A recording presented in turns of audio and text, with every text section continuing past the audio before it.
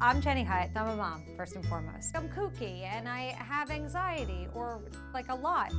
But somehow I do everything I'm supposed to do. I'm proud that my two teenagers still talk to me most of the time.